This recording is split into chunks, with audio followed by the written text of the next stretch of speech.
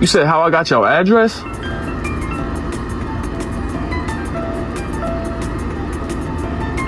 Don't even worry about that, bro.